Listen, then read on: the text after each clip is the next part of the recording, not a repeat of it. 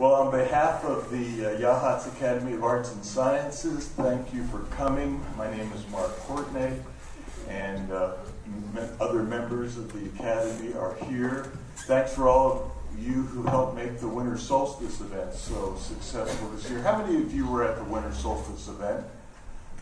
Good, good. Well, it was, it was great. It was great having you, and hardworking members of the Academy uh, made sure it was all set everything didn't burn down, it just burned up. So, before I introduce our, our speaker today, I want to mention about our next presentation, which is coming up Sunday, February 11th. So, if you it's not too early to put it on your calendar. It's 2 p.m. on Sunday, February 11th.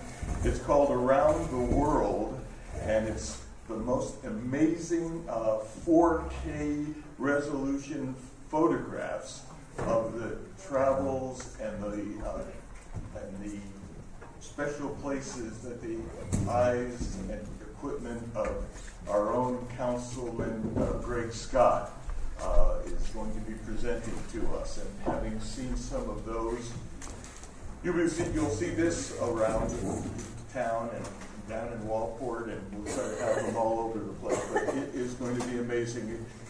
Greg was explaining that it's OLED uh, type of photography and light, which means every pixel is a, is a light uh, source. And, and so you're going to see some really amazing high resolution photographs on Sunday, February 11th.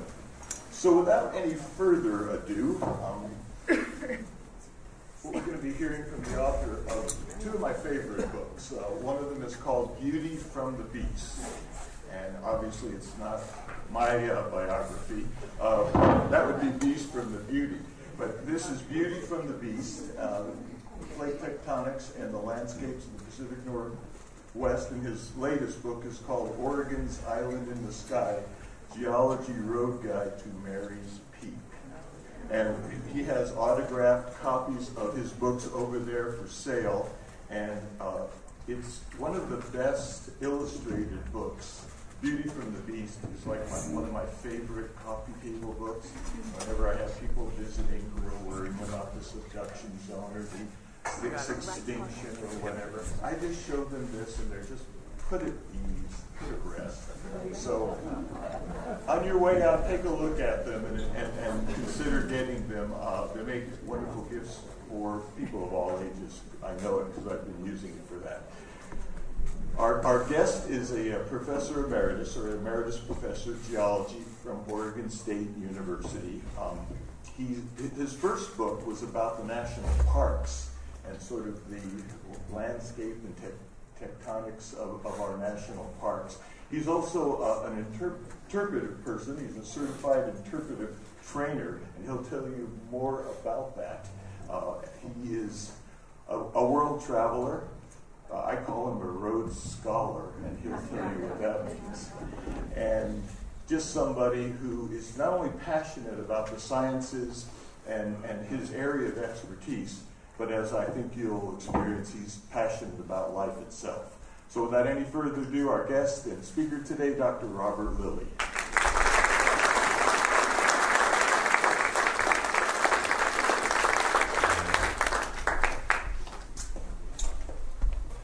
Okay, thanks so much, Mark.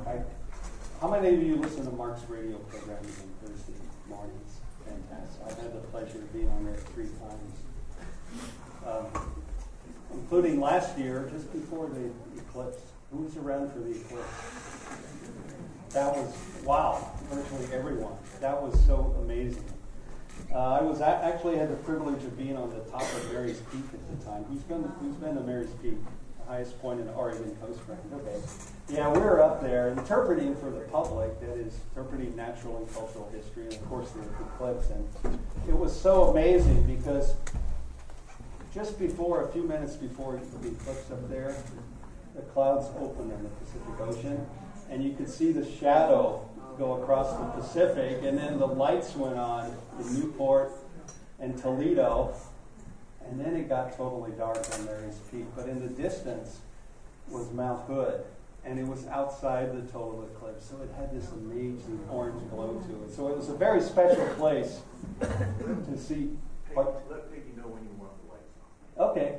It was a very special place to see the eclipse because it has such a commanding view of the entire Cascade Volcanic Range to the east and then the Pacific Ocean to the west. Yeah, you want to get the, the lights. up. can you do it so it's not completely dark? Can you dim it a bit? Yeah, there you go. Okay, that's getting better. We'll let Mount Hood come into focus here. It's a, such a pleasure to be here at the Yachats Academy of Sciences. I was telling Mark that I've actually worked at the, a long time ago at the Czechoslovak Academy of Sciences in Prague. So when I heard there was a Yachats Academy of Arts and Sciences, it's, it's amazing, all these academicians here in Yachats. And I'm not surprised, though. Yachats is such, such a unique community. Of course, you have an Academy of Arts and Sciences. But it's a real thrill to be here. How many of you were around when this happened? The beast of a volcanic eruption, Mount St. Helens. Yeah, most, most people in this room were around.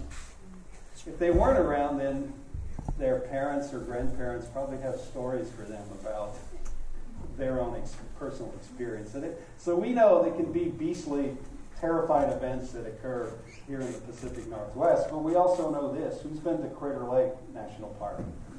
Yeah. This is beauty that comes from exactly the same beast. Without those volcanic eruptions, we wouldn't have this incredible landscape. So we need to learn to take the beauty with the beast, I, I like to say. Of course, we need to be prepared, be aware and be prepared for earthquakes and volcanic eruptions, but we need to be prepared, not scared. But also, if we appreciate the beauty, we realize, well, okay, you know, this place, yeah, it has its things we might be uh, concerned about, but it also has these wonderful things. And it's here for the same reason.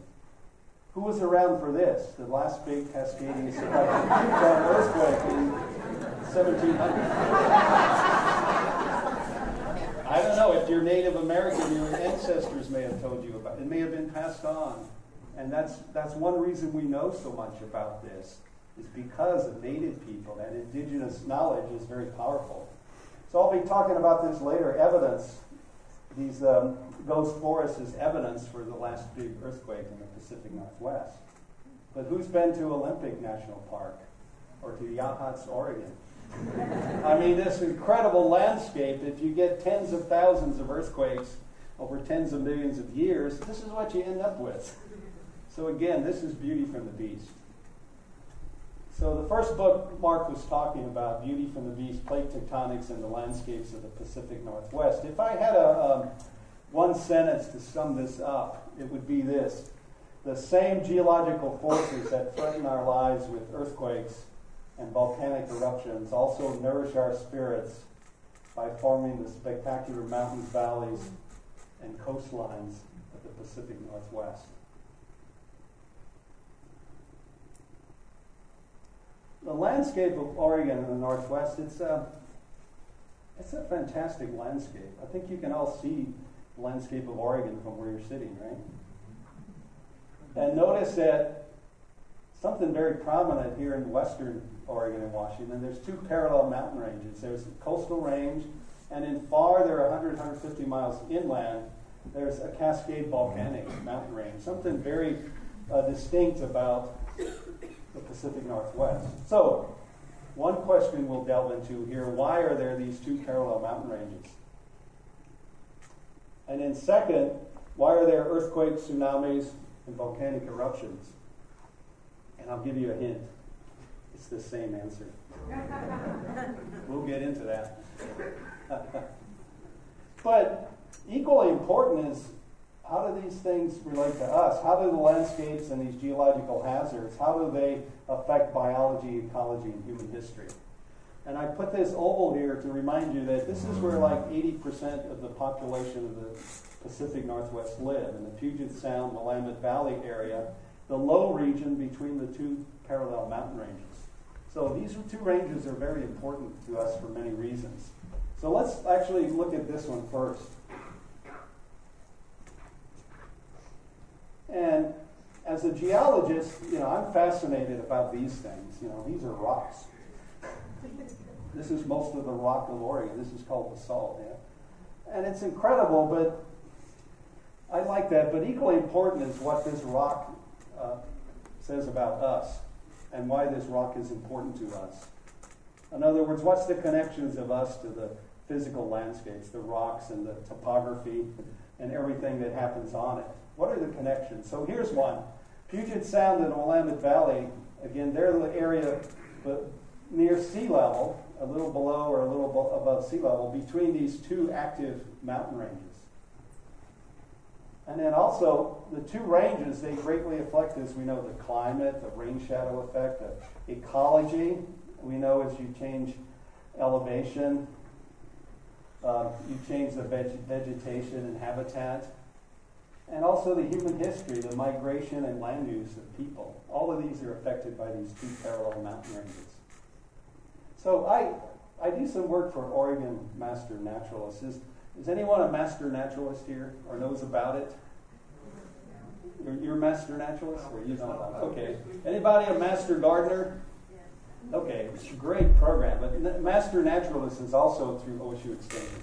And you become, if you go through the program, you become, a, anybody can do it. You become an expert on the natural history of Oregon and a specialist on their ecoregion. So when I started teaching for them, I noticed, well, here's their ecoregion map the coast, the Willamette Valley, the Cascades, the Basin and Range out here, etc., the Klamath Mountains. And it really struck me because as a geologist, look at the connections.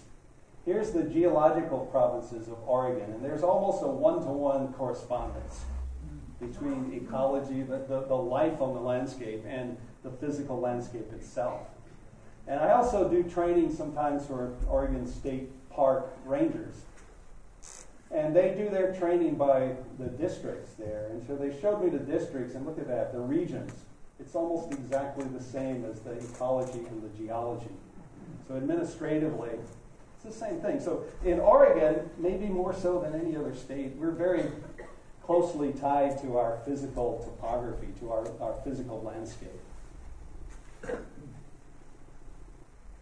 So these two parallel mountain ranges, they, uh, they greatly affect the climate, commerce, and history. So, for example, we know that, especially on the coast, these storms come in over seven, eight months out of the year.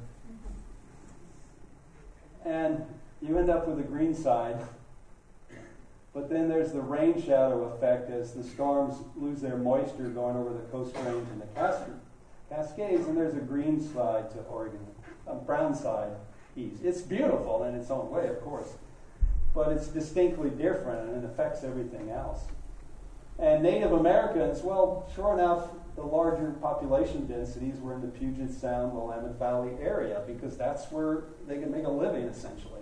Things were abundant there. They could live. And then when people came over on the Oregon Trail later, well, guess what? Most of them didn't stop in the brown side here. They went across the Cascades into the Willamette Valley Puget Sound area, where they could grow hops and make beer and plant grapes to make Pinot Noir and fish. Yeah, yeah. So I think as Oregonians, we know we're really tied to the physical landscape in many ways. So let's look at these too. Why are the ranges here and why are they these uh, geological hazards? So I'll, I'll, address these two in order, starting with this one. But let's look at why are the two. Well, actually, this next slide answers both questions. Okay, you've heard of fun with phonics. Okay, this is going to be fun with plate tectonics. Okay? We're going to do some fun things here if you look at where the tectonic plates are, these are the various boundaries. It's like a cracked eggshell. And there are places where they rip apart or diverge. There are places where they come together or converge. There's places where they slide past one another.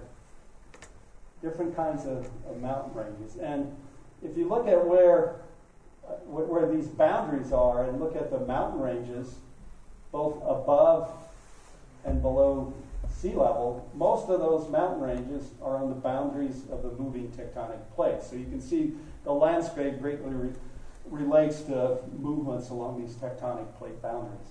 And then if you look at, so this is the beauty that that comes about from that. But if you look at the beast, where the earthquakes and volcanic eruptions are, most of that is also at or near these tectonic plate boundaries. So look at the triangles. The red triangles, these are active volcanoes above sea level shown on this map. Just closely coincided with the tectonic boundaries. And then the earthquakes are the letters. The S's are where they're shallow, M means they're intermediate depth, and the very deep ones are D. So can you see the Pacific plate diving underneath as earthquakes get deeper and deeper? Can you see in South America the Nazca plate dives underneath and makes deeper and deeper earthquakes? So the earthquakes closely coincide with the activity along the tectonic boundary. So both the beauty and the beast relate to plate tectonics. So what I want to do is um, we're actually going to do a little hands-on demonstration here. Okay, we're going to go and look inside of the Earth and think about how it works. Since this is Academy of Arts, it'll be art and science. We're going to do some art and science here. So I'll talk about the whole Earth and plate tectonics. So we need to understand what goes on inside the Earth. Okay, so the Earth is round. Why, why is it round? Very fundamental thing about the Earth. What? Gravity. Yeah, gravity. It, when, it, when it first formed, it was hot, molten state, and so suspended in space, it's going to make itself into a sphere, pretty close to a spinning sphere. And then what happens then is that the heavy stuff is going to fall towards the inside, right? So the core is made of iron and a little bit of nickel. A lot of heavier stuff is right in the center of the Earth.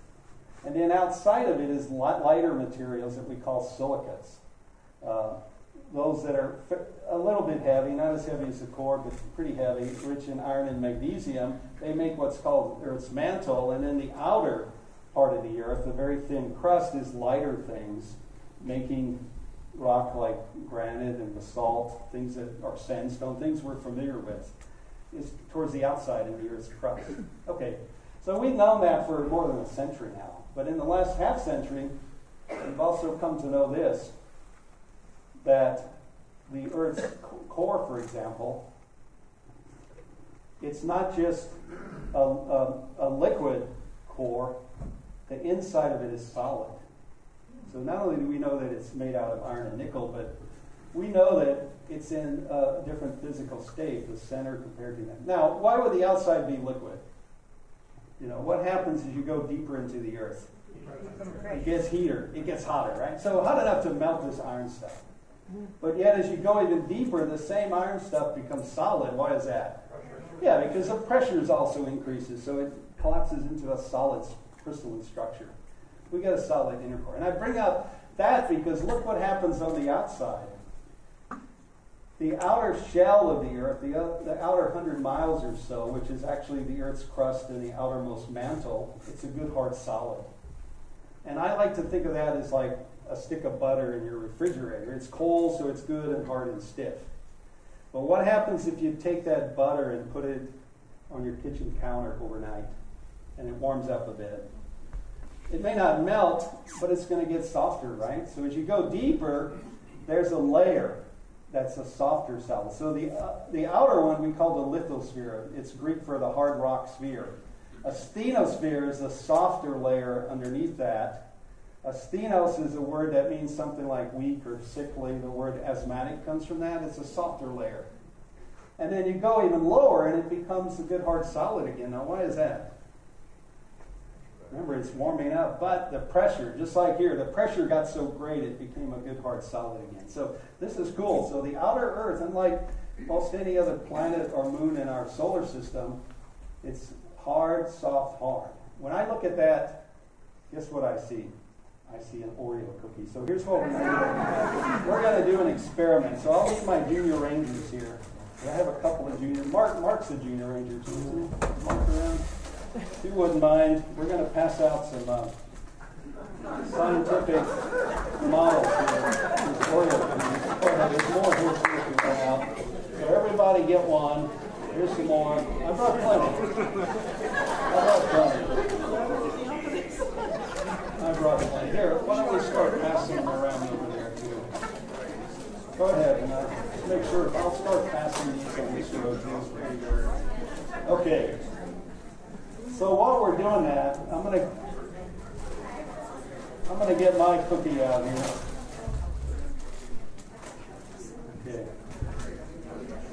All right. So while we're doing that, I want you to think about what the Oreo cookie is here in relation to the earth. So here we go. We got the hard upper cookie. That's not just the thin crust of the earth, but it's mostly the outer mantle of the earth with the thin crust. We call it, again, we, this is the hard plate, the hard lithosphere, hard rock sphere, about a hundred or so miles thick. And then below that, the creamy filling, well, that's the soft part, right? That's what we call the asthenosphere. And then the lower cookie, and by the way, you can't eat them yet because we have to do science. you can eat it. The lower cookie is the lowermost, the lower part of the mantle. Okay, so we have hard, soft, hard, just like these. Everybody get a cookie? Oh my gosh. Close. Okay, we have more. I'm gonna need one. You want to pass this back? Yeah, go ahead. Okay, I think I brought enough. Yeah, it's coming around. Okay, so here's what you can do now. First of all, I want you to take the plate off and look at it. Look at it. Twist it. And as you're doing that, has anyone heard of the um, Oreo psycho personality test? It's from a website called superkids.com, but what it is, if you go to that site, it'll tell you that scientists have discovered that the way you eat Oreo cookies, it says a lot about your personality. And here's the ways it does that, okay? There's, we won't go through all these ways, but let's think about this one. Anybody eats it twisted apart, the inside and then the cookie? So we're twisting it apart first, right? And here's what this website says about your personality. If you eat it that way, it means uh, you have a highly curious nature. So that's good. I like that.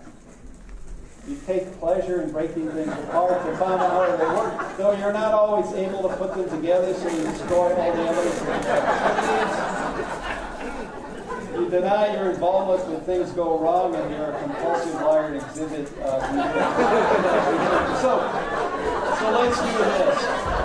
I can't help you with this part. You'll have to seek help elsewhere. But up here, I think this is good, right?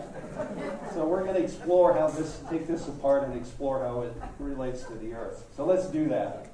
First of all, can you slide, put the plate back on and slide it on. And as you do that, I'd like to look, I'd like you to look at your fingernails and watch them grow. Okay? Do that? How long will we be here? if, if you did that for a year without cutting your nails, how long would they be? Maybe a fraction of an inch to a two, three inches, right? Uh, th- that's important because these tectonic plates, they're about 100 miles thick, but they move ever so slowly, on the average about the rate your fingernails grow. Think about that. Inch or so per year. But it adds up. In about 100 million years, you can open the entire Atlantic Ocean. No problem. Okay? So that's the one thing about geology. Processes may be slow on the average, but given enough time, it's amazing. Okay, so by the way, this is my son Ben. He's uh, he's now a professional hand model. Actually, uh, Mark, he's been on Mark's show too. He has a group in New York City called Story Collider, and he just opened a nightclub in, in Manhattan called Caveat. Google that, caveat.nyc, and it's for like budding TED talkers and uh, science pub type things, and artists and poets and everything, every, seven days a week. So he's doing some cool stuff. Anyway, that, that's an aside. So let's do this. And um, okay, what I'd like you to do, take the cookie, the, the, the upper cookie, and can you crack it in half? Okay, and make two plates out of the one. Right now, as you did that, did you hear that? Okay, somebody tell me what that is. It's earthquakes, right? Can you do that with the creamy filling? No, because the way it behaves when you stress it and it strains and break, it, it, does, it does it in a ductile fashion. It doesn't give off sound. Whereas the cold lithosphere plate, it's, it's hard, cold, stiff, brittle. It breaks, it cracks. It's brittle behavior. And so, hence, we get earthquakes associated with plates, especially along their boundaries. Okay, So where's this happen where one, yeah, slide one past the other. And by the way, you hear, you hear the earthquakes going as you slide it? Sticks and let's go, sticks and let's go. yeah, someone said it already, the San Andreas Fault in California. So the Pacific plate is moving northward past the North American plate, and this is the San Andreas Fault in California. So that's one kind of tectonic plate boundary, and we see it here. The plates aren't ripping apart or crashing together, but one is simply sliding past the other. And we see it here. Here's the San Andreas Fault going from the Gulf of California to Cape Mendocino. And this western sliver of California is moving here. Which brings up something interesting because how many of you like going to Disneyland? Yeah, I mean now you exactly now you have to drive all the way on I five for a day and a half. If you just wait ten million years, you'll just drive to the ferry boat. And, and uh, yeah, it's amazing what given enough time what can happen. Disneyland is going to be offshore. Cool. As if we don't already have enough Californians moving here. But anyway, my wife's from California. So I'm glad she moved here. Okay, so here we are. This sheared up landscape, these long valleys, you know, San Francisco Bay itself, it's this sheared up landscape that's there in Western California because of movement along the San Andreas Fault. So this is beauty from the beast. Yes, there's earthquakes, but that incredible beauty of Western California is, is for the same reason. Okay, where's it happening where plates are diverging? Can you put, put them together and pull them apart? Where's that happening? Oops, don't break, don't do what I just did. I broke the lower cookie. Where's it happening? Yeah, the Mid Atlantic Ridge, exactly. Divergent plate boundary. So North America is moving along Africa, and the plate boundary here in the Atlantic Ocean, as the Atlantic Ocean is open, that's called the Mid Atlantic Ridge, and we see it here. The plates rip apart, the hot stuff rises and starts melting, and like a hot air balloon, balloon being inflated, it lifts up a mountain range underwater, the Mid Atlantic Ridge. And also, what else is happening here? What's this little island here? Yeah, Iceland. This is the Mid Atlantic Ridge, and right on it is Iceland. And if you've ever been there, you know this thing is happening. You can kind of see things ripping apart there, right? And there's also volcanic activity because the hot stuff is rising and melting. And this is important because it's not just happening in the Mid Atlantic Ridge, it's happening right in our backyard. Look at this. There's an area called the Basin and Range Province right in here that includes all of Nevada and eastern California and southeastern Oregon where tectonic plates are ripping apart. And we get beautiful downdrop basins, uplifted mountain ranges like the Steens Mountains in the Alamaca Desert, for example, or like the Klamath Basin. And here's an example here. Lake Tahoe is there because the lake is filling the, the Rift Valley here in uh, eastern California and, and western Nevada. So that's a divergent plate boundary. Okay, so we've seen where plates are ripping apart the mid-Atlantic ridge. I like to think of the Earth as a giant recycling machine. So plates are manufactured. You get new, through the volcanic activity and the ripping apart, you get new tectonic plates made here. But, but what happens on the other side of South America here? See the plates coming together? Plates are converging. So I think Mother Earth is giving us a me- message here. Earth, Earth is a giant recycling machine. So we know how important recycling is on, a, on the scale of curbside recycling in its communities. But the planet itself is giving us a message. It recycles. Plates are manufactured here, and then they're recycled at these areas where one plate dies beneath the other. Well, we have a name for that. When one plate dies beneath the other, we call that a subduction zone. Where's the nearest subduction zone to us? We're on it. It's called the Cascadia subduction zone. And by the way, what's in western South America here? Yeah, there's a volcanic mountain range just like our Cascades. That's called the, the Andes Mountains. Okay, so subduction zones, you can see the green with the little flags on them here. That's where one plate dives beneath another. Subduction zones are rim the Pacific Ocean And then here's a little one here, our own Cascadia subduction zone, where the Juan de Fuca plate from offshore is diving beneath us. So here, can you do that? This is the hardest thing I'm going to ask you to do. Push one plate beneath the other. Make it stick for centuries and then let go. Stick for centuries and let go. Get bigger earthquakes. But that's the Cascadia subduction zone. So we have the Juan de Fuca plate diving beneath the North American plate. And the whole region here where that's happening is called the Cascadia subduction zone. Okay. So that's the three kinds of plate boundaries. And you can see the beauty from this beast, things like Mount Rainier in Washington State, just like the Andes volcanic mountain ranges, because of that subduction. The convergent plate boundary. Okay, so we've seen where volcanoes and earthquakes coincide with uh, plate boundaries, but look at these two places. Look at Hawaii and Yellowstone. What's happening there? They're far from tectonic plate boundaries, yet you have significant earthquakes and a lot of volcanic activity. What's happening there? This we call, does anybody have a sheet of paper? Just a blank sheet of paper. Yeah. I want you to think about if there's some hot material rising from the Earth's mantle, it rises and melts and makes volcanoes on the surface of the plate, right? What's going to happen if the tectonic plate is moving? See, I'm not moving this hot spot, right? I'm moving the plate. I'm going to get a chain of volcanoes on the surface, right? So let's have a look at that. Here's the big island called Hawaii, and in the Hawaiian island chain, and then submerged seamounts, atolls and seamounts farther here. So the big island is forming today. The um, island of Kauai formed 5 million years ago. Midway Island here formed 21 million years ago. And way over here, this subsea atoll formed 45 million years ago. You see what's happening? The hotspot is here, but yet the plate has been moving this way, carrying the volcanoes and the islands away from the hotspot. So that's another kind of tectonic feature.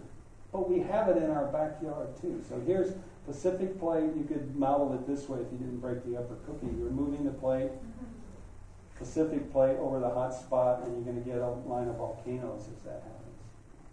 So guess what? And then you get this enormous amount of volcanic activity here on the big island of Hawaii. Okay, so Yellowstone, same sort of thing, only instead of beneath the ocean, beneath the continent. So this is the Yellowstone hotspot. It would be the same sort of thing. The North American plate is kind of moving in a sort of a westerly, west-south-west direction. Yellowstone hotspot comes up, and you're going to get a chain of volcanoes in the Pacific Northwest. It's there. I'll show you where it is. It actually starts here, surfacing 17 million years ago as the Columbia Plateau. I'll give you details of this a little later in the talk. But then look at this chain of volcanoes 16 million progressively 12, 6, 2, and forming today right at Yellowstone. So the hot spot is here, but the tectonic plate is moving this way, right? Here's the surfacing of the hot spot. Here's the plate motion. So we get the chain of giant, what we call explosive calderas, including Yellowstone. And then here, the Yellowstone supervolcano is there today. Still there. Still could go off. So we'll get into that later. So that's here in the Pacific Northwest. And we get all this beauty from the bees at the Yellowstone hotspot. Things, all these beautiful geothermal features, hot springs, mud pots, geysers, really cool stuff. Yes, is the Yellowstone hotspot similar to Mammoth? Mammoth, uh, and Mammoth is in like southern, it's in California south of Yellowstone. It's actually on the edge of, what's, of what I, I talked about, the Basin and Range province. You get volcanic activity there. It's on the edge of the Basin and Range province. So it's from plates ripping apart, starting to rip apart there. Yeah. Okay. So here we go. So in summary, if you want to eat the cookies, now you can. Right? but I'm supposed to read the back of the package. I know what it says. Each cookie has. Uh, it has uh, 70 uh, calories and one and a half grams of fat. So you're welcome to eat. Anyway, just don't eat too many and you're fine. So, uh, you know, we have places where plates diverge and you get earthquakes and small to, small to medium sized earthquakes. and volcanoes. You get places where plates converge, and you can see you get volcanoes on the overriding plate, and you get a, a variety of earthquakes, small, medium, and, and, and, large, including the very deepest earthquakes in the Earth. Earth. You also get the biggest ones where these plates, you see these white dots here? That's where the plates lock together for centuries and suddenly let go. Uh oh. That's us. I'll be getting into that, the beast part. Okay, and then you have transform boundaries with little or no volcanic activity, but, but some significant, significant uh, earthquakes on the transform boundary on the San Andreas, and then here's the hot spot. Okay. Well, let's see how this applies to the Pacific Northwest. You can see I talked about where, uh, you know, we're blessed here. How many of you are from Minnesota? You know, you're blessed there. It's a beautiful landscape, but it's an ancient landscape. You have all three kinds of plate boundaries in the hotspot tract. But it happened like two billion years ago, so you're seeing the erosional remnants of there. Still beautiful, but it's not active now. We're blessed. We have the active plate boundaries, all three kinds. well, you know, you got to take the beauty with the beast. You see where plates are ripping apart, the basin and range. Not only that, but look offshore where the Juan de Fuca plate is created at the Juan de Fuca and the Gorda ridges. This is just like little mid-Atlantic ridges off our shore. And then we have uh, transform boundaries, San Andreas, but not just that. Look offshore. You ever wake up and you hear about, well, there was an earthquake overnight off the coast? Guess what? Most of those are along these kinds of boundaries offshore. They're not from the subduction zone. Most of them that you hear, those fairly common ones that are like magnitude 3 to 5 or something like that, that's where they are. Okay. And then uh, we have, of course, our convergent boundary, the Juan de Fuca plate diving underneath. So I'm going to focus mostly on that because that's where we are. And that's what's so important for western, western part of the Pacific Northwest. Okay, and you can see the landscapes that develop. You see this basin and range province. Isn't that neat the way? Look at how. Can you do this with your fingers? Divergent. You know, make your hand wider. Don't you get mountain range and a valley? So you get a basin and range, a basin range. You get a whole bunch of that. So look at the landscape in Nevada and southeastern Oregon. That, that's what's forming it. That's stretching. And then you can see uh, here's our Cascadian subduction zone, and then San Andreas transform boundary, this sheared up landscape. And then here's the Yellowstone hotspot track from the Columbia Plateau all the way to Yellowstone. So it's reflected in the beautiful landscape. Okay, so this question why are there two parallel mountain ranges here? I think you kind of have an idea, right? But they are distinctly different ranges. Like, are the are the are, are, are the Coast Range mountains? Is Mary's Peak or Mount Olympus going going to erupt? No. Are there going to be ginormous earthquakes in the Cascades? No. But are n- not nearly as big as we get here. But there are certainly volcanoes there. So they're quite different landscapes, but also different geological hazards. Okay, so let's look at that. So here's the coastal ranges and the Cascade volcanoes, and it's because of the subducting plate. So look at the extent of the plate and look at the active volcanoes. Up north here, the northern part of the Juan de Fuca plate, there's the northernmost, most active volcano, Mount Garibaldi in British Columbia. And then way down here, Lassen Peak, you see the Gorda Plate is the southern part of the Juan de Fuca Plate, and that's exactly where Mount, uh, Lassen Peak is. So you can see the active volcanoes correspond, uh, correspond to the active uh, subduction zone. Okay, so what forms these two different kinds of, of uh, mountain ranges? So you can see how they're quite different. Look at this. This is sandstone and shale, right? Layers of sand and mud compacted and uh, turn into rock on the ocean floor. But what, what's wrong with this picture? Yeah, the layers get laid down like this, but these tectonic forces have scraped them off and lifted them up and folded and folded And You're seeing a place here in Olympic National Park where they're, they're almost vertical. So you can see how Earth is very dynamic, uplifting things from the ocean that were in the ocean and lifting them up, and that's the coast range. And then farther farther east, here's the steep explosive volcanoes, these beastly uh, cascade volcanoes like Mount St. Helens. But that's much, that's 100 to 150 miles east, right? So what's happening in this overall uh, subduction zone? Okay, here's Mary's Peak from Corvallis. This is the Coast Range in all its glory. This is, by the way, anybody's been up Benton Green in Corvallis, just a another beautiful place to see. In one direction, you're seeing the glory of the Coast Range, and on a clear day in the other direction, you're seeing the Willamette Valley and the Cascade volcanoes. So you're seeing this whole subduction zone in there. Okay, so here's how this happens. Here's how you get the two parallel mountain ranges. So, for example, right here, you can see the Juan de Fuca plate. It's going to dive down and then there's material, there's sand and mud, and, and, and, and there are volcanic lava flows, for example, that are made here at the Juan de Fuca Ridge. So that constitutes the ocean floor. So those layers are uh, the sediment and basalt that's lifted up and piled up as the coastal range. And we get beautiful things like the Olympic Mountains and Mary's Peak. And then what happens farther east? As you get deeper. What happens when this plate goes into the earth? What changes down there? Heat and pressure, right? So what happens to something when you heat it up and put it under pressure? What, what happens to you when you, you're, you're really working out, running, bicycling, skiing? What happens to you when you get hot and under a lot of pressure? You sweat. These rock, the plate sweats. It really does.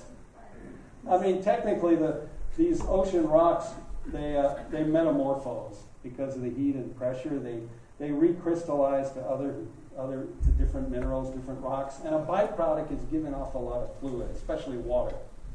So the plate sweats just like us when it's under heat and pressure. So, but it has to be like 100 miles or so deep, 80 miles in our case.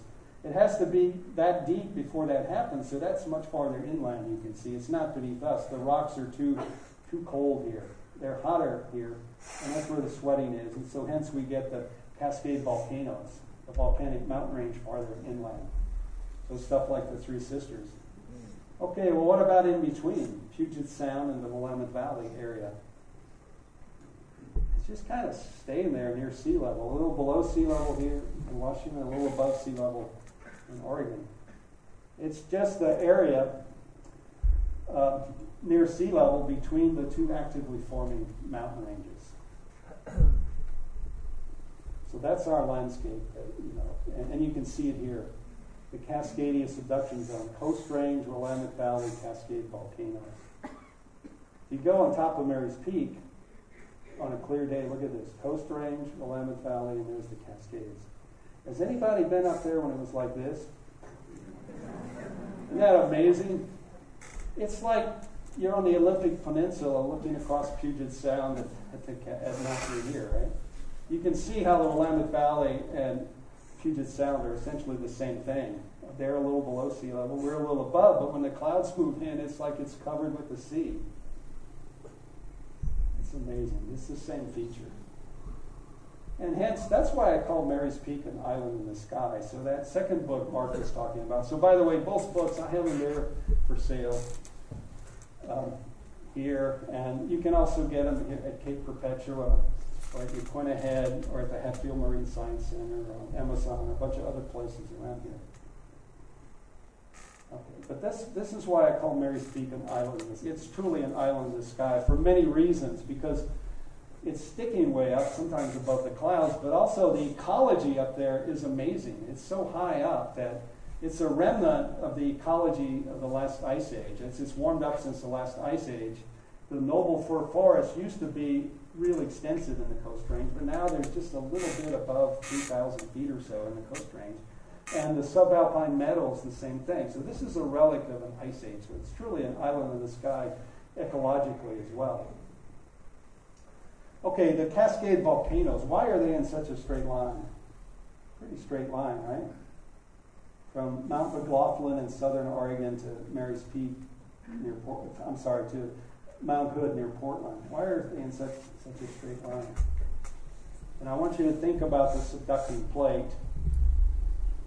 It's a little animation here.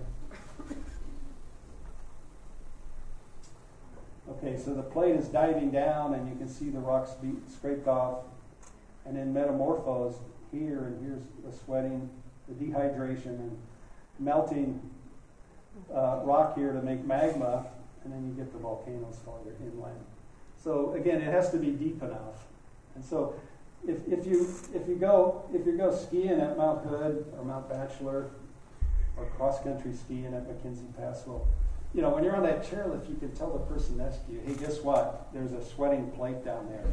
That's why these beautiful volcanoes, they're going to be really impressed, you know, especially if they're from California. So, um, no, it's, it's amazing. That plate is about is about actually about 50 miles, 80 kilometers underneath you. That's where this sweating process happens here in the Pacific Northwest. Okay. So the parks and the Cascades, they show, showcase where the top of the plate reaches, you know, about 50 miles depth and starts to um, starts to dehydrate. So just to show you some of them, Beauty from the Beast, uh, Mount Rainier. Here's uh, Mount Jefferson, Three Sisters, Crater Lake. By the way, Anybody know what forms this valley here? It's called Sun Notch. Yeah. I want you to do something that I call the Crater Lake handshake. So you'll have to team up with the person next to you, and I'll let you help me here, maybe, if you don't mind. So here's what you do I'll do this. Okay, I'm going to do this. Then what I want you to do is uh, make a fist and push it through there. So have one person do this. V shape, right? And then I want you to make a fist and punch me in the nose. I mean, not literally. So now what happened? Now, now let it melt. Now what happened there? You know what happened? What makes this? No, a valley with a V shape, water, river valley. What makes this? you get ice embedded with sand and grit and boulders, it carves up the rock into a new shape. There you go. Here it is. So there it is. By the way, I stole this from park rangers at Yosemite National Park. They call it the Yosemite handshake. Have you been to Yosemite Valley? Guess what? It's from glaciers doing that. It was like that. The glaciers came through. So they, they start programs that way as an icebreaker. Icebreaker. That's a good Ice melter ice melter. So here we go. So, but when you look at this, you can read the landscape, you interpret, read the landscape, and say, oh my gosh, there used to be a volcano here, right? Where is it? I mean, because wh- where did those glaciers come from? They were way up here. They came down here, but the top of the glacial valleys, the source of the ice, is now completely blasted away. It's in Montana and New Jersey and just all over the place. 7,800 years ago. So the top part of those glacial valleys, the top of the volcano, there's a mile of rock that's missing. You can see that when you go to Mount Shasta. Look at that. The top is still there, and sure enough, there's the U-shaped glacial valleys with active glaciers in it. 100 people live the summer in Mount Shasta. It's fumes and it's actually mud Oh yeah, yeah, it's still quite active volcano. Uh, yeah, oh yeah, they're still very active volcanoes, so they're, they're going to go. We'll get to see that, enjoy that sometime. okay, so that's where the plate sweats hot water, and so we have the volcanic mountain range inland. Okay, and I, as I mentioned, the plate's about 50 miles deep out here. So, how deep is it beneath us right now. I love, love to have, you can teach kids math. Say, look, 100 miles inland, it's 50 miles deep. 50 miles offshore, it's uh, essentially, you know, close to sea level. when it's going down. Well, how deep is it right here? Less than 10 miles or so beneath us right now is the top of the Juan de Fuca play. And that's, yeah. Know it's 50 miles. We know it's 50 miles because one thing you can image, there's ways of like when you see seismic waves from distant earthquakes, they come through here. They tend to speed up when they go through this cold plate that's shoved down. They speed up here. They slow down where it goes through slow parts like this. So this cold, rigid slab, you can image it going down. It's where the seismic waves speed up. So there's ways to image that plate going down. So it's approximately 50 miles deep. So uh, how deep is it here? That's important that it's not very deep because guess why? Where do the plates lock for centuries and suddenly let go? It's not going to be here because the plate is too too hot and it's getting too ductile. It's warming up a bit, but it's cold enough here where they lock here and they let go as these ginormous earthquakes. Oops. From kind of a little bit offshore to about where Mary's Peak is here, that's where the plates will lock for centuries and suddenly let go. Okay, let's take a deep breath. So again, we don't need to be scared, we just need to be prepared. So knowledge is good. We know these things. We can prepare our communities for it. And we're doing a lot of great things to do that. We need to continue to do that. I mean, you could move to Kansas. I mean, yeah. I mean, the tornado is going to get you there. So no matter where you go, there's some sort of hazard. So we need to live somewhere. So we just need to be aware of the hazards and plan accordingly. Yes? Could you address the importance or not so important process of the slow slip? Oh, the slow slip? Okay. Well, I won't go into detail here, but what she's saying is that, you know, the plates stick and let go, and the cycle lasts for a, a few centuries. It takes to, to, lock enough to where it can't take it anymore. So everybody do this. Just put your hands together and then push it down, but make it stick. And then suddenly let it snap. It's going to take about three, four, five hundred years for that to happen. And you know, a big earthquake is when it suddenly lets go, and so just for four or five minutes you get almost plate, plates grinding together. But it took three or four hundred years for it to build up to that point. What she's talking about is farther inland. There's a place as things are heating up a bit. It's not quite that simple.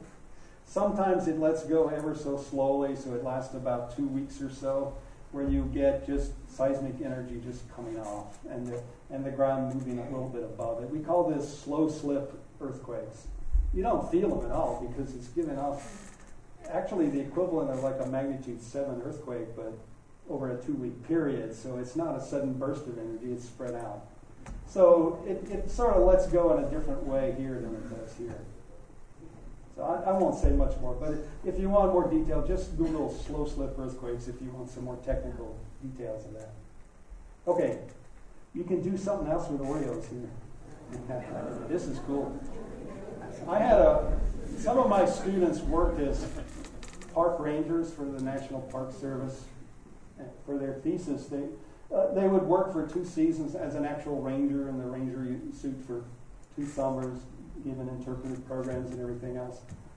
And then for their thesis, they all had geology degrees to begin with. So for their thesis, they would write and illustrate uh, geology interpretive manuals for their park. So Jen Natoli worked for Redwood National and State Park, so she came up with her version of the Oreo demo. She said, okay, make the the plate with the filling, make that the downgoing Juan de Fuca plate, and make this the, see if I can do it. Yeah, it's working, sort of. I think you'll get the idea. You make this the uh, de Fuca plate with its cover of, of uh, sediments, the ocean layers, and as you push it down, look what happens. You see the coast range forming? The stuff from manufactured in the ocean is shoved up and makes the coast range. So that's Ranger Jen's version, of, and you see it there. You push this down and scrape stuff off, and here's the coast range. All right, let's look at that. So, of course, you can see how this happens then. And then, uh, so the coast range, it has layers of you know, the volcanic rock basalt from the ocean floor, and then the cover of sand and sand and mud, sandstone shale. Those layers are scraped up and pushed off, as you saw in the last diagram. And the landscapes, here's Olympic National Park again. So as we go down the coast, we see the beauty of that beastly thing. Because again, every time it lets go in a big way, that's a giant earthquake, but it lifts up things a fraction of an inch to an inch or two every time that happens. So over a long time, you're going to get landscapes like this. It's lifted and also simultaneously eroded. Here's, uh, where am I? Yeah. Here's Cape Perpetua, just a couple of miles from here. Here's uh, Oregon Islands National Seashore as you go farther south, and Cape Blanco State Park, and then uh, Redwood National and State Parks in California. Ah, here's Corvallis. Who's been there? yes, I like Corvallis. Here's some of my some important uh, places in Corvallis. Here's the Oregon State University, of course. And here's the campus beanery in downtown beanery. so what's this right here? By the way, did you know that it used to be called Mouse Mountain? And I think it's even more appropriate now with computer mouses. You get the idea? It's Mouse Mountain. I like that. So that's Mary's Peak, 4,097 feet, the highest point in the Oregon Coast Range. And this is actually, I live near here on Highway 34, the switchbacks you go between Philomath and Alsea over Alsea side. I live just a quarter mile from this picture. You can see, just like Olympic, those layers of sandstone and shale lifted out of the ocean, right here on Highway 34. What are these things? By the way, that's my son Ben, who is a, a little guy. Yeah, they're called they're basalt lava flows. They're called pillows. They were manufactured in the ocean about 55 million years ago and lifted out. And that's part of the reason Mary's Peak is so high. So here's how they form, though. Here's why they can be, they're really important. Just a very fundamental thing they say about how these lava flows form. Because to get pillows, I'll show you how you do that. Watch this. Now this is underwater photography, actually from Hawaii, but it's lava as it flows into the ocean. And you see the pillows forming? Well, if on land they're going to spread out for miles and make thin layers, but when it hits that cold water, it makes these pillows and they pile on top of one another. So this is really cool because when you see pillow basalts, you say, oh, it's water. And almost always it means this formed in the ocean. Now, this guy doing this, I wouldn't recommend this. Watch over here in the corner.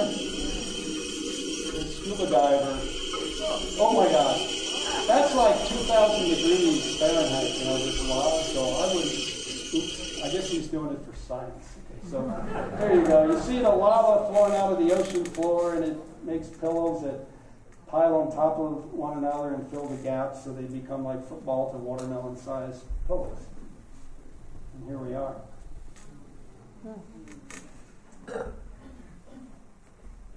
It's called pillows. Now, there's one notable exception in Oregon in pillows that didn't form in the ocean. Do you know where that is? This is cool. Rock. Seal rock is unusual. Yeah. Basalt, isn't it? Yeah, but it did flow into water, presumably into ocean water. You could see pillows. But when they did uh, dives in Crater Lake in the 1980s in a little submarine, guess what they found uh, at the base of Wizard Island? They found pillows. So it shows that even as Wizard Island was still erupting, there was enough water, you know, significant water in Crater Lake. And so you get pillows there. But almost always it means you're in the ocean when you see pillows. So here you go. Here's how this happens, and here's how this is going to relate to earthquakes now. And tell me if you can hear this. Okay. In a subduction zone, the thinner yet denser oceanic plate dives beneath the continental plate. The continental plate is locked to the subducting plate by immense friction along the shallow portion of a vast sloping fault surface. GPS data from many subduction zones show that the friction indeed causes the leading edge of the overlying plate to be forced backwards. During subduction, the thin layer on top of the oceanic plate is scraped off and forms a wedge at the front of the continental plate. The continental plate deforms in response to the stress. The Plates can lock for hundreds of years until frictional stress is overcome in a process called elastic rebound. This can produce magnitude 8 to magnitude 9 great earthquakes. Tsunamis occur when the ground beneath the ocean is displaced, as it does in the simplified animation. This cycle of locking and building stress, followed by catastrophic release, repeats every few hundred years. Okay, so why are there earthquakes the, and tsunamis here in the Pacific Northwest? Let's look at that. Was anybody around when this happened? yeah, my wife and I heard about that, and we went a couple of days later. This is Yaquina in the back. This is Agate Beach, a state park site just north of Newport. And this strange thing washed on shore one morning, and there was a plate on it it's noticed it came from Misawa, Japan, on the island of Honshu. And this was brought to Japanese consul in uh, Portland, and they they verified it. Yeah, this is a part of a dock that was dislodged during the giant earthquake on uh, Mar- in uh, March of 2011, a little a year and a half before, floated all the way across the Pacific Ocean, and here it is. So we went there, and like you know, normally you get a few hundred people, two, three hundred people at this place on a weekend day in June, but there were like 10,000 every day showing up because this was unusual and incredibly interesting. So we see people taking pictures of their friends, right? You know, we used to stereotype Japanese people and say, well, okay, they go around the world taking pictures of, of their friends. But guess what? That's, that's a very human thing. We all do it. So here's Americans taking pictures of a Japanese dock, right? So, so you know, being an interpreter, my wife and I, we, well, we went there. We, we wanted to see how the people were interacting with this thing. So we're taking pictures of the people interacting. And this one guy, we're wondering, what's he taking a picture of? And it's the word Japan written in English on this dock. And so this is a very much a sense of place thing. The fact that this thing came from Japan and we know its story is like, wow, this is very powerful. And it speaks to us because we're a mirror image of the Japan subduction zone. So here's the deal. We get Japan subduction zone. The Pacific plate is diving towards the, the west underneath uh, Europe, Eurasia our little subduction zone, the Juan de Fuca plate is diving to the east underneath North America. So we're a mirror image like this Japan, Oregon. So guess what? You know, I mean, there's great beauty in Japan, we know from beautiful landscape, mountains, volcanoes like Mount Fuji, but guess what? A, they also have beasts like we have. And so they're sending us a message, aren't they? Because Japan and Oregon, they're linked by similar coastal hazards, earthquakes and tsunamis. So March 11th, 2011, the last big Japan earthquake, you know, magnitude 9, and accompanying tsunami. Our last one was January 26, 1700. Okay. So this is a postcard from Japan, right? Saying, hey guys, you know, we need to be prepared. So here's the former mayor of Newport and the Consul General of Japan. Um, a year later, actually two years to the date of the earthquake and tsunami in Japan, this the piece of the, this dock was put there at the Hatfield Marine Science Center with interpretive exhibits.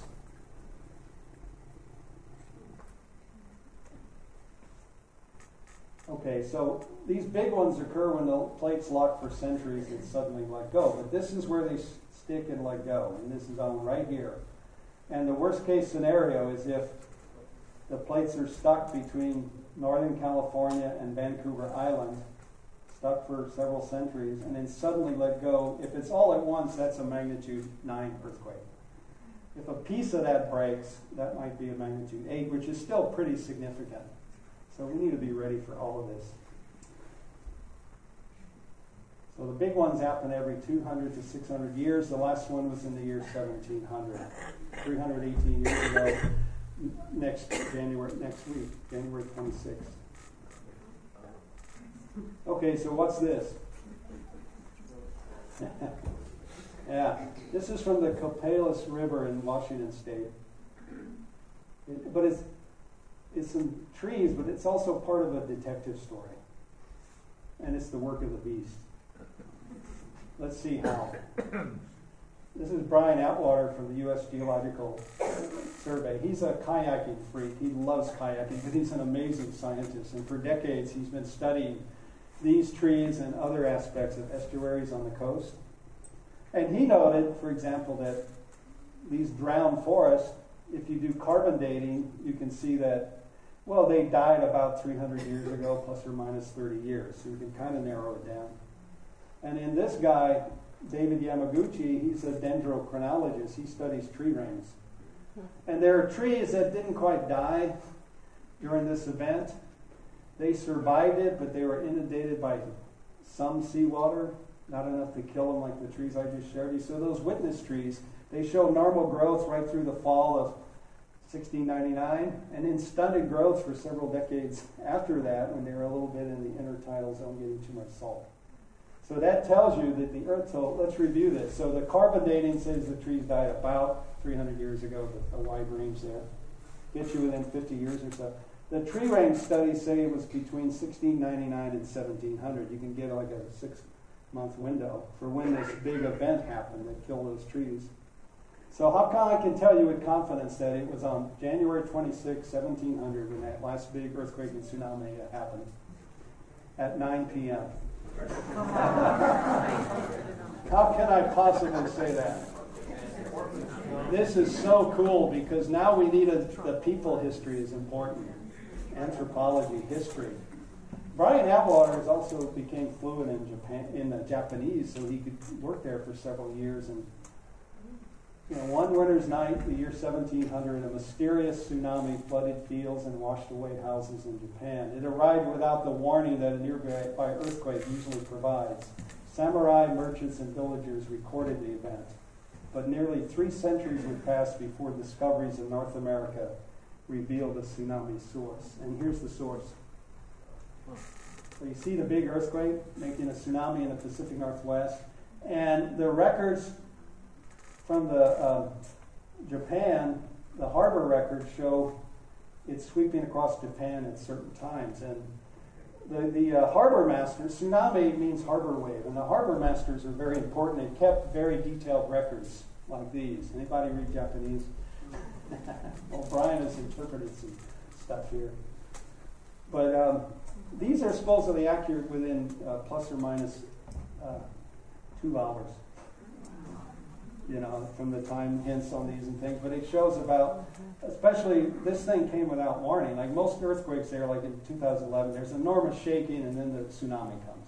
But occasionally there's a tsunami without the shaking before, so it's called an orphan tsunami. It doesn't have the earthquake there locally. It came from elsewhere around the Pacific Rim.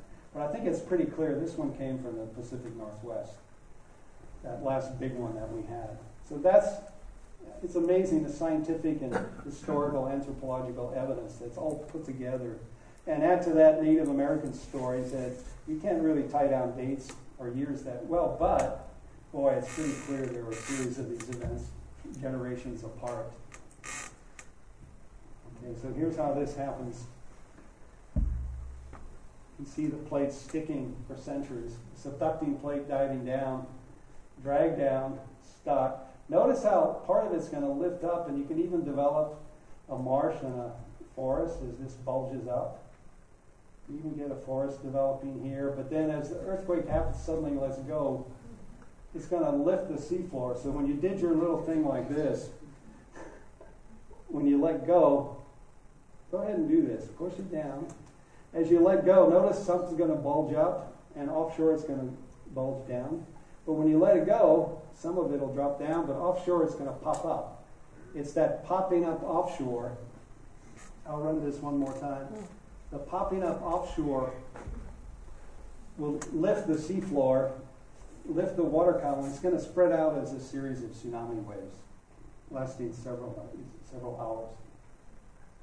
Okay, here we go. So you'll see this pop up, and boom, there's the tsunami mm-hmm. Here into Japan and drownings, what were trees?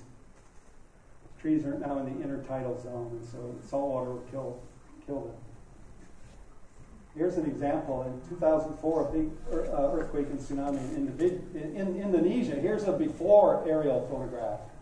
You can see roads and houses and trees, but unfortunately, afterwards, it's not just the shaking and the water from the tsunami, it's the fact that a whole area dropped down like five, six, seven feet. It dropped down, and so here's the after.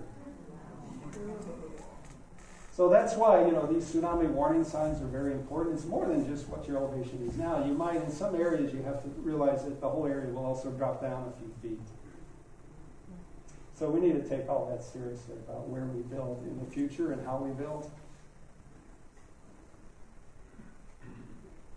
And if you go to state parks and other sites on the coast, you can see uh, some of these ghost uh, stumps. Some of them are from the 1700 earthquake, but others have been carbon dated. They're from even older events, and we can see a sequence of events over several thousand years. And we can do it this way too. Here's a this is from the Niawiakum River in southwest Washington. You see this gray layer? That is the sand from the 1700 tsunami. There's been deposits on top of it. So it dropped down into the bay and estuary. It's built up, and it's now uh, bulging up above sea level, and there's a marsh and forest there. And when you look at, um, if you cut deeper, you can see there's some older tsunami sands at times, and there's downdrop bay mud, and then on top of that is a younger tsunami sand, and then here's the modern day mud and, uh, and marsh. So there's a whole bunch of these over 10,000 years or so. So that's why we can see about every two to 600 years there's a, a major event causing an earthquake, tsunami, tsunami sand, the downdropping. We come up with a record of what's happened. Okay, so it happens in the Pacific Northwest every 200 to 600 years. The last big one was in January 1700. This is cool. This was developed by OSU Extension, this little sign. And it's all over the world now, these tsunami warning signs. It's really cool. So here's, uh, here's what it says often. It's, you know, when you see this, get to high ground. Now, nearby, a distant earthquake, like from Alaska, you'll have like four or five hours before the tsunami. And as you know from Japan or South America, it's more like 10 to 15 hours that you have before the first waves get there. But uh, a local one, it's more like 20 minutes.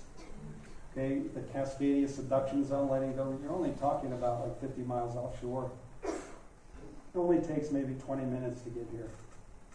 So you see signs like this. Oh, so I like to say, I, I've reworded this. I mean, sometimes we, we have tsunami sirens, but the earthquake itself can be the warning. So if you hear a tsunami warning siren or the shaking of an earthquake, I mean, don't wait for your cell phone to tell you. I mean, just get to higher ground. So another way of putting it is when you hear a loud shrill, get your ass to help. There's a way to get, up. Right? The shrill being the siren or the shaking of the earthquake itself. Do that and ask questions later about it. Okay. All right. I love this sign. This is from Pat Corcoran, OSU Extension. This is in Seaside, Oregon. I mean, what are you going to do? Now, he, he explained this later. It's one of those roads that it's one way in one direction, but it's two ways this way, okay? One of those, and you know what I'm talking about. So it's not as bad as it seems. So the research shows uh, ginormous earthquakes once every uh, 200 to 600 years. The last one was in 1700. So we know we need to be prepared. And we are. And I, I love this because this was a sign that just in the last couple of years, these signs have appeared in uh, Yachats, and I love it. The first communities where this was done. It says, in case um, entering a tsunami ready community. So I like that sense of empowerment, you know, that we can use this knowledge in a positive way for, for public safety. This speaks to community and sense of place. So notice as you're coming into town, this is the sign that's there. And I, I liked it so much. It's on the back of that book, Beauty from the Beast book. This is the back cover right there. And look what look you see what the photograph is there. From the lookout at Cape Perpetua, looking out. That's, uh, that's Cape Perpetua right here on the back cover. Okay. So, I'm going to, yes? How high do you expect from the 9 earthquake? How high a tsunami? Okay, you know, it depends. I mean, nominally, the tsunami itself, you know, just naturally could be like a 10 to 30 foot wave. And not just one wave, it's a series of waves. Incredibly broad, though. So between the cresting of the wave and the water being sucked out and the next crest, that might be like 45 minutes to an hour on that cycle. And furthermore, it may not be the crest that comes first, it might be the trough. So if you see the water suddenly disappearing when you're out on the beach, don't go out collect the flopping fish and the pretty shells because that's a huge mass of water and it's coming back just a few minutes later. People in Indonesia made that mistake and hundreds of people died because of that. It's going to come back with a vengeance. Now, I say nominally 10 to 30 feet because it depends on the, the slope of the land, the shape of the coastlines. It can be constructively reinforced in places to where you can get it growing to 100 feet in places depending on the direction it's coming from and the landscape. That's why you probably want to try to get at least 100 feet above sea level if you can, certainly at least 50. Yeah. I was just gonna say, I'm I'm from Florence, uh, Yeah. we were two feet above sea level, and the town has designated our safe spot as thirty-five feet above sea And what? The town has designated our safe spot as thirty-five feet. Yeah. And for almost, for most, for 90, I, I don't want to hazard a number, but let's just say 90% or so events you're going to be fine there. But there's that rare occasional thing where you get this weird focusing where it might be bigger, so. Yeah.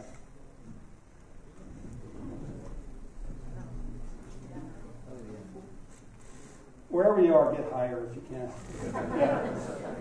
Okay, so let's skip on a little bit. Pardon?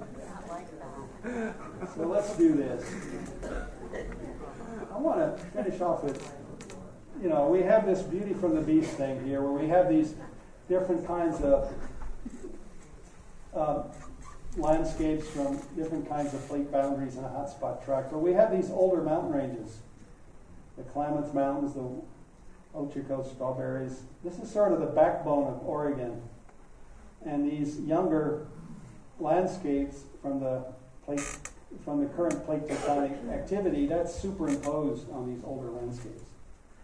So let's just look about what this says about how we built the continent and how we can see evidence of that on the coast. This map, let me just slow down here and show you what these numbers are. This two point, this this means these very old rocks here. These are rocks when you strip away the younger sedimentary layers. This is the igneous and metamorphic rocks underneath.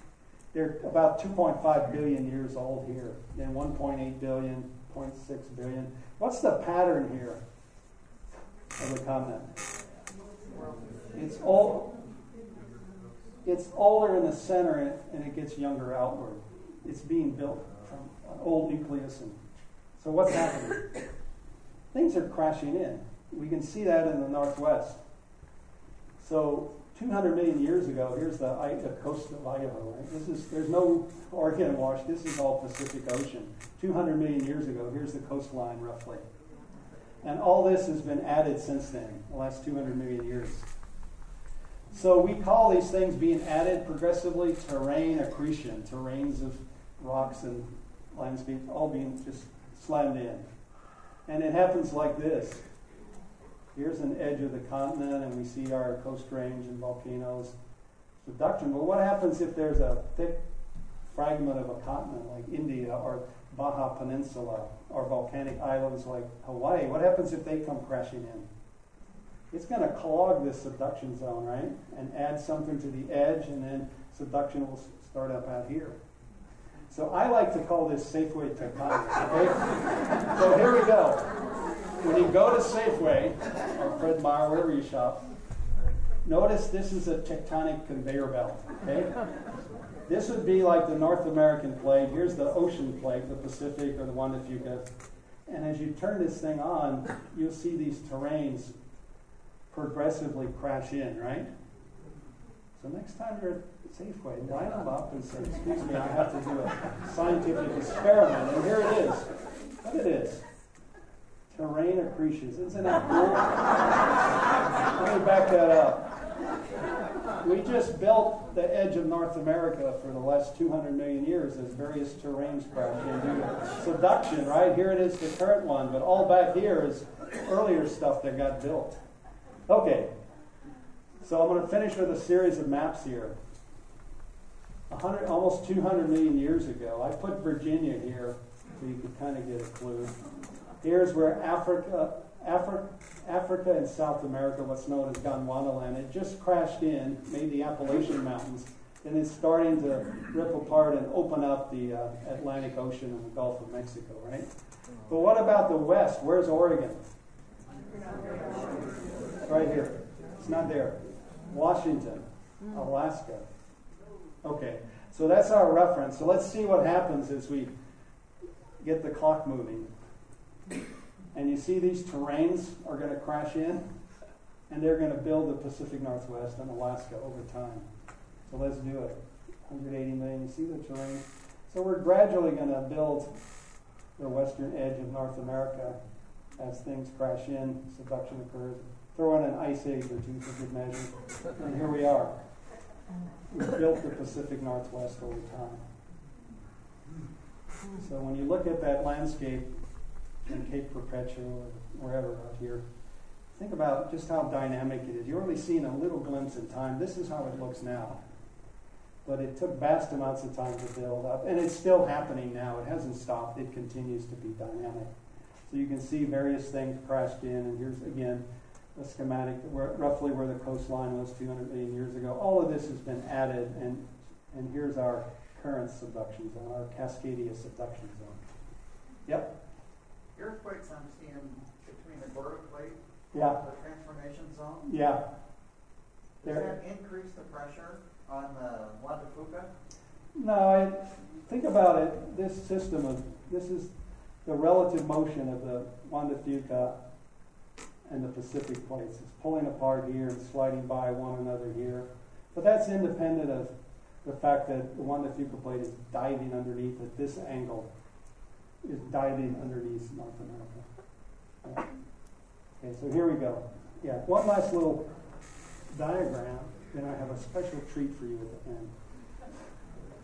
I love this is from Tanya Atwater from the University of California at Santa Barbara. I'll run it a couple of times. I love the way she subducts the words too, right? so let me play it again. This will be the evolution of the Western North America over the last 40 million years.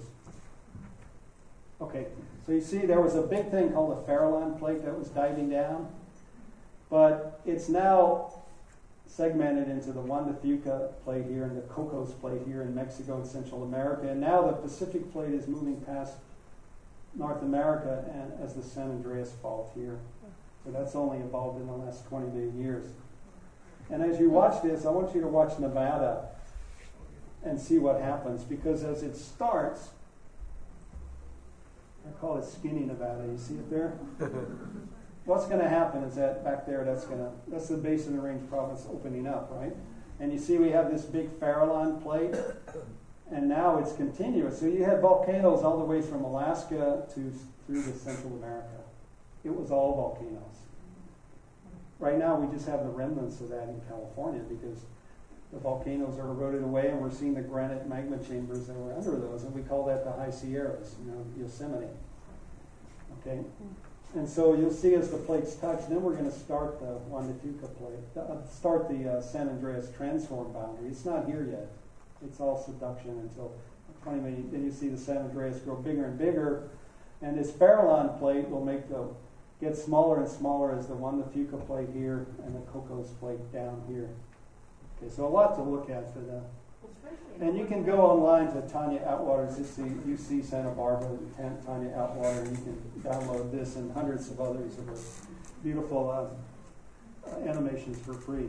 So here we go. I'll play it one more time. You can see how we've evolved. But I just want to impress upon you that we're still evolving. And the San Andreas fault is getting longer. The Juan de Fuca plate is getting smaller. So 20 million years, we're all going to be California. Right? We're all going to be the San Andreas, one big happy family. And we can go to Disneyland offshore from, from Yachats. Okay. So, So the greater Pacific Northwest, it has all three kinds of plate boundaries, as well as a hotspot track. And it's happening now. So we see a dynamic landscape as it's happening. So we live with this beauty from the beast landscape here. And and you can see, as I pointed out, much of this, this pattern of plate boundaries and hotspots. You see it reflected in the, the overall landscape. So I made a, I got a special musical presentation. I call it the landscapes of the Pacific Northwest from a distance. And as I do this, I'm going to show photos, and in the lower right hand corner, there's going to be some Oregon State Park sites identified. So you'll see this symbol in the corner. There's going to be Washington State Parks and National Park Service, U.S. Forest Service, the Bureau of Land Management, BLM, and the uh, U.S. Fish and Wildlife. Okay, so I call it, if you want to put the lights down a little bit more. Okay, it's going to be, yeah, the landscapes, yeah, that's good. Landscapes of the Pacific Northwest from a distance.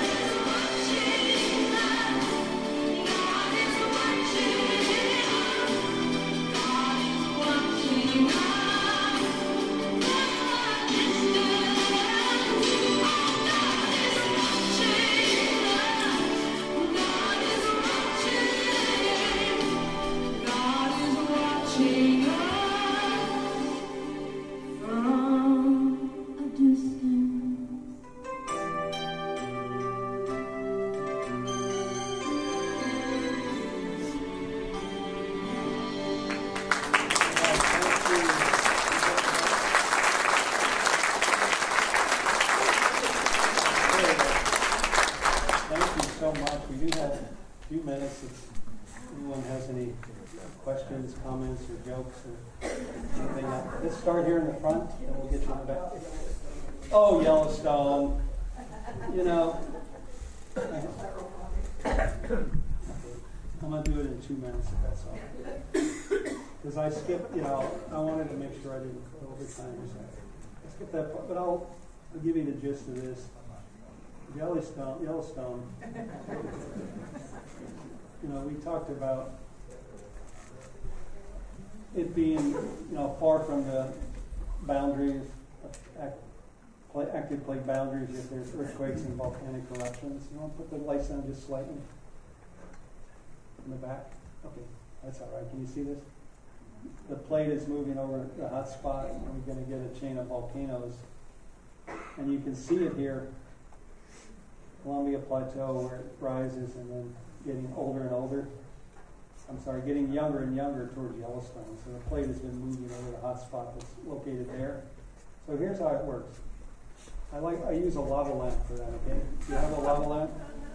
So go get your lava lamp. It's in your, it's in the your, your closet where you have your hookahs and bongs and lava lamps and all that stuff. And your legal cannabis is now there too. From the '60s. You turn this thing on. You know the, the wax is hot. I'm sorry, the wax is cold, so it's more dense, denser than the oil. When you turn it on, the wax heats up and expands, and it's less dense than the oil, so it's going to rise. And as it rises, you see it can make these mushroom shapes, a head and a stem. So think about the hot spot in the earth. The stuff is rising. You get a head and a stem. Here's the plate riding over it. So when it surfaces, that's the massive basalt outflows of the Columbia Plateau in Oregon and Washington. And then that little stem is what's left, making those explosive volcanoes, calderas, that go all the way to Yellowstone across southern Idaho. So that's where we are today with the, the massive plume head and the stem making these explosive calderas right to Yellowstone. So that's the problem. So here we are. Here's Yellowstone. Here's the magma coming up. The plate's moving over it. And you can see the size of this thing. It's amazing. Here's Yellowstone National Park. Here's the Yellowstone Caldera, 40 miles across. And for comparison, here's Crater Lake, only five miles across, and Mount St. Helens, one mile. So this was truly amazingly huge. Uh, when it went off about 640,000 years ago, last time in a big way. And so now we get, yeah, now we get these beautiful geothermal things because that there's still hot magma under there. And now we get the hot springs, and we get all this beauty from the beast. Well, you have that map. Yeah. Is Devil's Tower part of that chain? Uh, I don't know how Devil, Devil's Tower is much, much farther east, almost in eastern uh, Wyoming. I don't know exactly how it relates to Yellowstone. Okay. But here's how we relate because you see the lava from the initial service, surfacing is right here, all the way to the Willamette Valley and the Oregon coast. The lava flowed three to 400 miles from its source here, all the way here. That was like, you know, 15 million years ago or so. So Yellowstone, here's John Day fossil beds, here's Multnomah Falls, here's Silver Falls, Yaquina Head. And you can see the lava flows. Here's the fossil bearing layers at John Day, but here's the Columbia Plateau basalt. You see basalt columns from that. So this is ancient Yellowstone, right? The initial surfacing of this. And here's Multnomah Falls is Columbia Plateau basalt. Silver Falls, all the way. So some of these headlands, especially the central and north Oregon coast, it's strong Columbia Plateau basalt that actually flowed three to four hundred miles to the ocean, and here it is. Cape Lookout, Cape Meares, even the farther south here is right here at Seal Rock State Park near here is the farther south. So just north of it, you've got some Columbia Plateau basalt, about 15 million years old. So that's another part of the story, even here on the coast. And I like to show park rangers this, state parks, because if you look at some of the state park sites, you, it's almost see the flow of the lava from eastern Oregon all the way to the oh, coast through, by looking at the, the Columbia Plateau basalt in state parks. Yeah. So does that kind of? Oh yeah, that's great. I skipped that part. I wanted, but since you asked, I wanted to throw it. Okay, go ahead. Yeah. So in um, Elephant Rock and Seal Rock, I was always under the impression that was part of basalt uplift that gave it the vertical striations, but it's not. It's just um,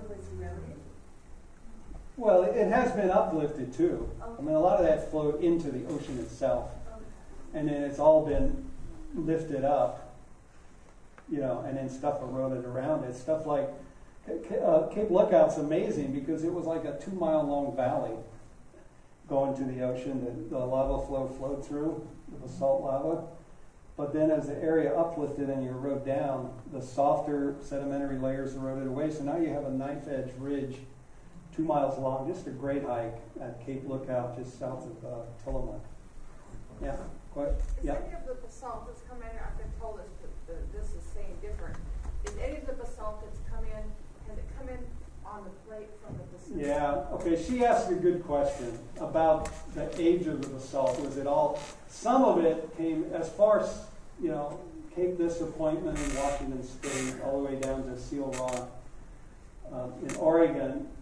Those headlands of basalt are mostly from Columbia Plateau basalt. But farther out down here, that's not the case.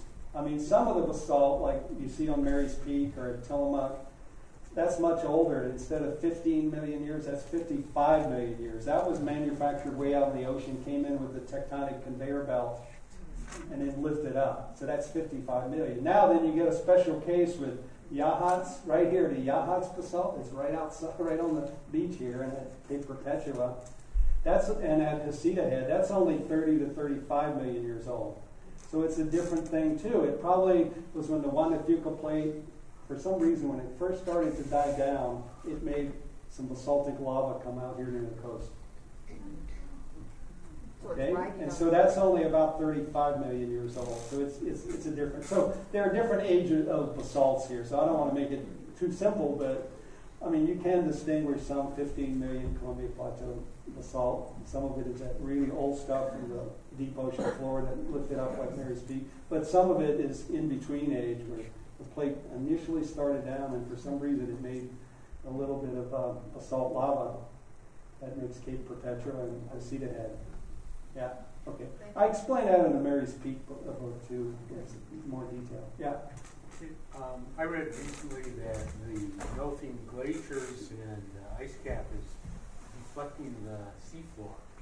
Ah, melting glaciers and, uh, okay, so his question, okay, the comment was you read somewhere where the melting uh, um, ice cap is deflecting the seafloor. Yeah, go- go Yeah, ahead. and so is that uh, going to have any impact on plate tectonics? or- Well, yeah, okay. He he said, well, it may have an impact on plate tectonics. Well, certainly melting ice. Well, ice, first of all, let's start weight of ice. It depresses things, as you might expect, because these things, rock isn't completely rigid. It, it's somewhat flexible, and so you put a mat, you know, two miles of ice on top, it's going to depress things. Warp down in places and bulge up in other places, right? You put weight on it. And then so conversely, as you melt that ice, it's going to rebound upward in places, and places where it bulged up, it's going to go down. So like that will affect some coastal areas as you change the weight of the ice that's here. So this, you know, melting of ice sheets, it's, there are a lot of things that happen in addition to filling the ocean with more water and with more uh, water that's less saline. You also get tectonic movements, you know, up and down because uh, you're changing that weight distribution of that's loading the continents. So. Do we understand anything about Oh yeah, no, no. I mean, there's a lot of studies that you know, yeah, understand how the weight of the ice has changed things, and then consequently, when you melt the ice, I mean, you can we we have melting ice now, so we can see these things reversing, and then you can model it and say, well, what happens if much, much more, all the ice melts? To get an idea of how the land surface will, will change accordingly. Yeah. If you Oh, got, yeah. if you got more questions, Dr. Yeah. Dooley, you gonna stay around? I'll stick around. You want to get one? Okay. Yeah, yeah, if we could. Yeah. And a lot Yeah. of these questions are answered in here because I've read them. I've read these books, and, and I, I can't recommend them enough. So you'll get a lot of answers. Really want to thank you all for your attention and your interest. Isn't Dr. Dooley amazing?